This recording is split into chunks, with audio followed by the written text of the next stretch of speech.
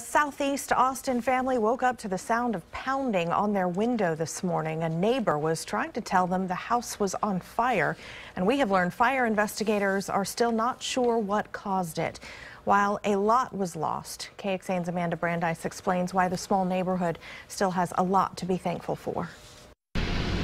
The home of six people left disfigured by flames. I was scared. My heart was racing 10 million miles an hour. Chad Harrigan saw the orange glow from his living room. When I looked out the window, I just saw flames shooting from the porch, and I ran over and banged on the living room window. Knowing three children and three of his close friends were inside the home, his heart pounded faster.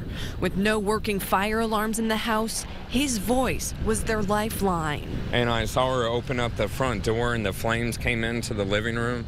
And then she got all of the kids and went to the back of the house. By the time we got out there, it was already, you know, up in flames and just wanted to get the kids away further. And a gift the kids woke up to on Christmas morning burned alongside it. When I told her about the playscape, she just went into hysterics and then I told her Flippy was missing and she had just got the boys that dog. But Harrigan says seeing the fire when he did was fate because typically he's already at work by that time. If it wasn't for him waking her up, you know, who knows what would happen. And the fear of losing their canine family member soon turned into relief. There's only three homes up here. We're away from the road, but yeah, we do watch out for one another. The family lost a lot, but as they try to move forward, they at least have each other.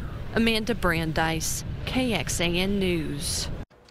Three of the children and one adult were taken to the hospital this morning for smoke inhalation. Fire officials tell us they have since been released. Four